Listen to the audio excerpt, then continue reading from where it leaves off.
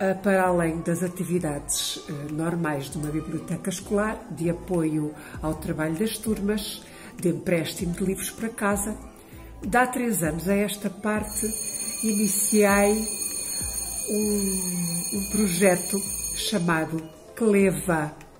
Ora, Cleva significa coro de leitura em voz alta. Destina-se uh, a todos os meninos, já leitores, portanto, em princípio, podem entrar meninos desde o segundo ao quarto ano de escolaridade.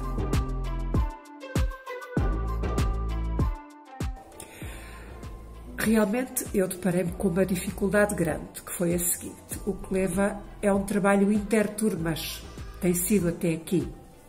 E eu não queria por nada perder essa possibilidade que os meninos têm de fazer um projeto com colegas de outras turmas, uma vez que eles normalmente se dão mais e naturalmente com os colegas da mesma turma.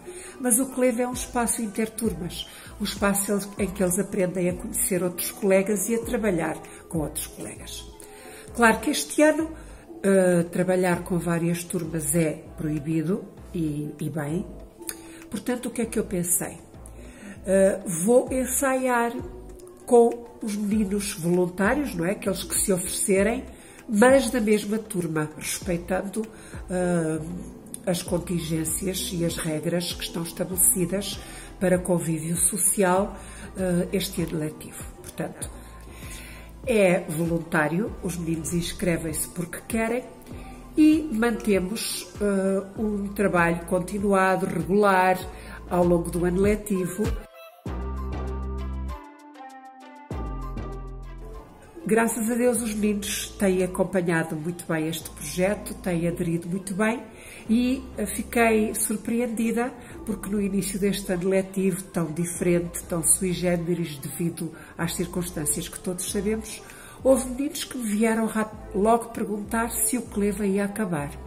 Trabalhamos textos em voz alta, trabalhamos entoação, trabalhamos sensibilidade, trabalhamos formas de ler uh, e, acima de tudo, é prazeroso. É uma leitura em conjunto em que não, não interessa ler bem ou ler mal, uh, soletrar ou não soletrar. Estamos aqui todos para evoluir uh, com a vontade, sem crítica e com entreajuda.